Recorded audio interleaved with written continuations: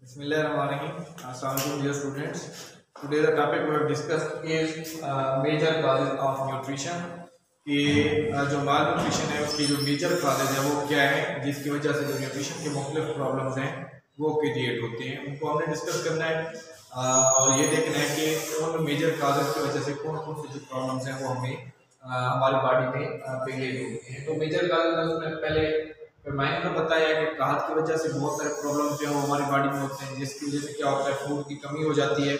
जब फ़ूड की बॉडी के अंदर कमी होती है तो उससे क्या होता है कि हमारी जो बॉडी है, उसमें न्यूट्रिएंट्स की कमी हो जाती है। तो जब न्यूट्रिएंट्स की कमी होती है तो हमारी बॉडी सही तरीके से जो है वो वर्क नहीं कर पाती।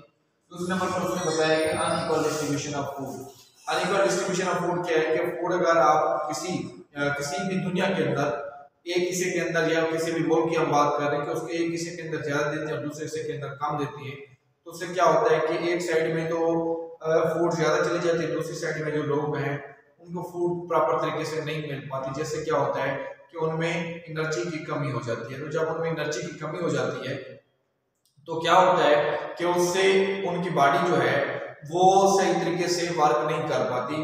उनकी बॉडी जो है वो सही तरीके से मुख्तलिफ़ किस्म की जो फ़ंक्शन है उनको परफॉर्म नहीं कर पाती। तो इस वजह से क्या होता है, क्यों? क्योंकि उन्हें प्रॉपर फ़ूड नहीं मिल रही। जब प्रॉपर फ़ूड नहीं मिल रही तो बैलेंस डाइट वाला जो कंसेप्ट है वो खत्म हो जाता है। तो जब बैलेंस डाइट वाला कंसेप्ट खत्म हो जाता है तो वो सही तरीके से अपनी बॉडी को की जो ग्रोथ है, जो डेवलपमेंट है, वो नहीं कर पाते।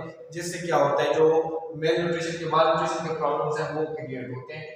इस वजह से ड्रॉट बताया है कि ड्रॉट आपको पता है कि खुश्क साली का पड़ जाना खुश्क साली क्या है कि अगर बारिश नहीं होती तो उससे हमारी फ़सलें सही तरीके से नहीं होती। जब हमारी फ़सलें सही तरीके से नहीं होती तो उससे क्या होता है कि हमारी जो बॉडी है, उसमें जो आने वाली फ़ूड है या जो हमारी बॉडी की ज़रूरत को पूरा करने वाली फ़ूड है, वो कम हो जाती है।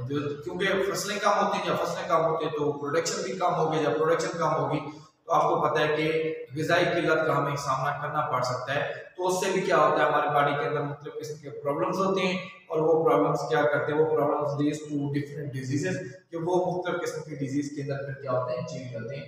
इंक्रीजिंग पॉपुलेशन उसने चौथे नंबर पर बताया फ्लडिंग फ्लडिंग की वजह से कि ज़्यादा सैलाब आ जाते हैं तो सैलाब की वजह से भी क्या होता है, जो फ़सलें हैं वो तबाह हो जाती है तो जब फ़सलें तबाह हो जाती हैं तो हमारी बॉडी सही तरीके से वर्क नहीं कर पाती। उसके बाद है इंक्रीजिंग पॉपुलेशन कि अगर आबादी बढ़ती रहे, यानी कि आबादी बढ़ती है, पहले आबादी कम होती थी फ़ूड ज़्यादा तो उससे आप न्यूट्रिशन के जो मसला है मसाइल है वो नहीं पैदा होते थे क्योंकि इक्वली तौर पर जो फ़ूड है, उसको डिस्ट्रीब्यूट कर देते हैं throughout the world but आजकल ऐसा नहीं है। आजकल पॉपुलेशन क्योंकि बढ़ रही है। तकरीबन यार वो सात अरब से भी ज़्यादा दुनिया की आबादी है। तो इतना लोगों की फ़ूड को पूरा करना बहुत मुश्किल होता है। तो इस वजह से जैसे जैसे पॉपुलेशन इंक्रीज हो रही है, उस वजह से भी हमारे जो फ़ूड है वो कम हो रही है और उससे मुख्तलिफ़ किस्म की जो प्रॉब्लम्स है वो हो रहे हैं। उसके बाद मैन मैन क्या है? कि इंसान के अंदर फ़ूड कैसे डाइजेस्ट होती है, इसमें तीन चार तरीके बताए विजन का बताया कि फ़ूड को इनसाइड द बॉडी ब्रेक किया जाता है, दूसरा उसने डाइजेशन बताया कि इसमें जो फ़ूड है वो बड़े पार्टिकल्स के ऊपर कंसिस्ट होती है, उसको फिर ब्रेक करके छोटे पार्टिकल्स में कन्वर्ट किया जाता है, यानी कि उसको हजम किया जाता है, उसके बाद अब्जॉर्प्शन है कि जब वो फ़ूड अब्जॉर्ब हो जाती है, जब वो फ़ूड डाइजेस्ट हो जाती है, उसे बॉडी के अंदर अब्जॉर्ब किया जाता है और उसे बॉडी के मुख्तलिफ़ सब्सटेंस के अंदर चेंज किया जाता है assimilation it is the process in which food become a part of our body जिसमें फ़ूड क्या है, हमारी बॉडी का जो है वो हिस्सा बन जाती है। डिफेक्शन इसमें क्या होता है, जो फ़ूड हमारी बॉडी में डाइजेस्ट नहीं होती थ्रू रेक्टम ठीक है एंड एनस से बॉडी से बाहर खारिज कर देता है। तो ये वो फ़ूड है जो डाइजेस्टेड नहीं होती। उसके बाद उसने एलिमेंट्री कैनाल का बताया। कि एलिमेंट्री कैनाल एक ट्यूब है जो हमारे माउथ से स्टार्ट होती है टू एनस एनस तक जाती है। वहाँ तक क्या होता है कि जो अनडाइजेस्टेड फ़ूड है, उसको रिमूव कर देता है। जो डाइजेस्टेड फ़ूड है, उसे स्मॉल इंटेस्टाइन में जात कर लेता है, उसे फिर हमारी बॉडी की जो मुख्तलिफ़ सब्सटेंस है, उनके अंदर चेंज कर दिया जाता है। तो उसके बाद आपको बताते हैं कि इसमें एलिमेंट्री कैनाल के अंदर जो पहला पोर्शन आता है, वो आपके पास ओरल कैविटी है। ओरल कैविटी के तीन चार फ़ंक्शन होते हैं। पहला पहला इसका फ़ंक्शन फ़ूड सिलेक्शन है कि ये फ़ूड को सिलेक्ट करती है। कि फ़ूड के अंदर कोई डस्ट पार्टिकल मौजूद ना हो। उसके अंदर कोई स्टोन वगैरह मौजूद ना हो तो ये फ़ूड को और उसका स्मेल और उसका जो टेस्ट है वो भी ठीक होना चाहिए। तो ये फ़ूड सिलेक्शन के अंदर आ फ़ूड सिलेक्शन की ओरल कैविटी करती है।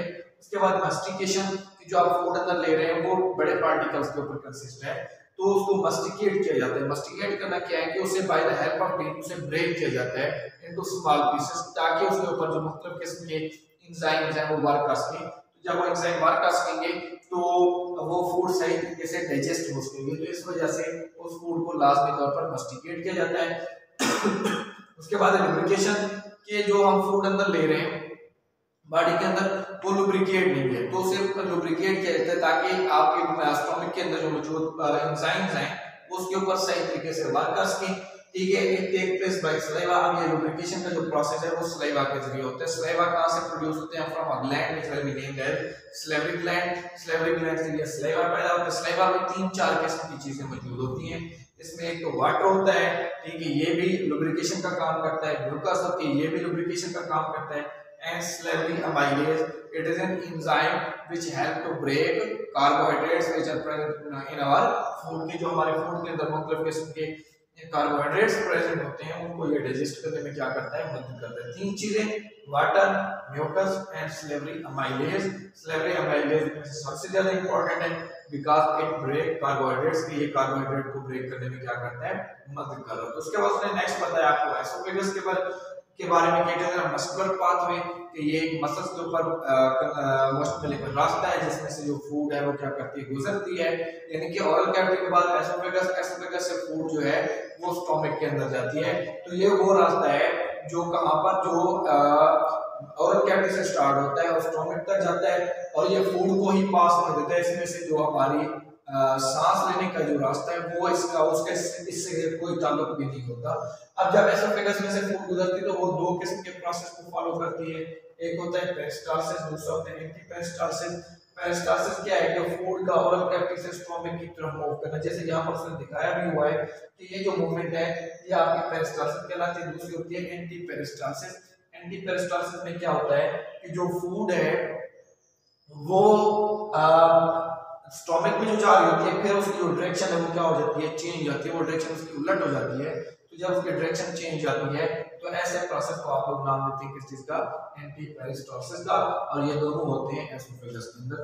तो ये आज आपका टॉपिक था जिसमें आपने मेजर कॉजेज को भी डिस्कस किया, इसके बाद डाइजेशन को भी डिस्कस किया, और ओरल कैविटी को डिस्कस किया, और एसोफेगस के फ़ंक्शंस के हवाले से हमने स्टडी किया।